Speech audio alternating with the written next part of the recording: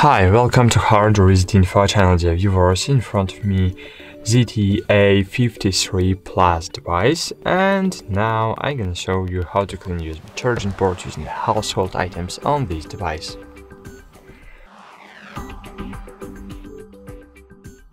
So firstly, remember the one rule, never use metal objects to clean the connector so as not to damage your USB charging port.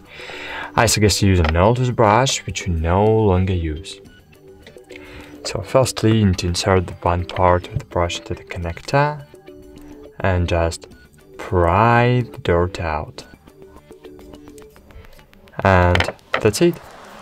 Thanks for watching, like this video, subscribe to the our channel and bye. See you!